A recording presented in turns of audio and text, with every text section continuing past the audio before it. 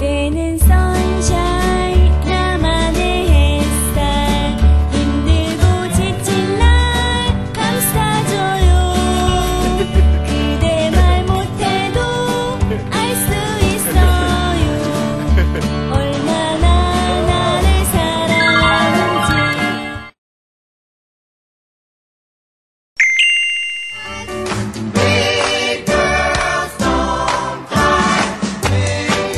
어렸을 때부터 제 꿈은 응원단이었습니다.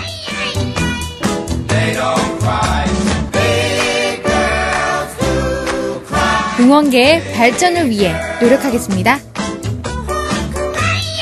난 응원이 좋아.